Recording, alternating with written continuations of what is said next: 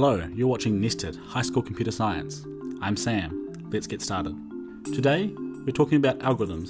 Specifically, we'll be talking about big O notation. Here's the thing with algorithms. Every algorithm deals with a number of items. We call this number n. Every algorithm has a number of steps relative to the number of items.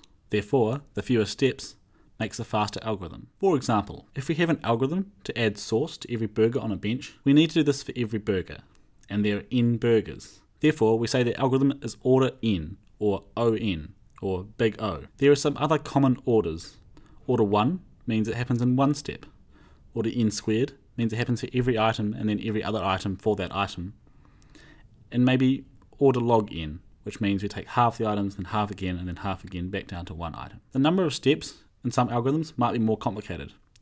It might be the number squared plus log n of the number plus n plus 1. So when we talk about the order of an algorithm, we just take the highest power. So this example would be order n squared. We're going to use big O notation to talk about algorithms in the rest of this series. If you have any questions, please ask in the comments. Don't forget to like, subscribe and comment. It's been Big O Notation from Nested. Thanks for watching.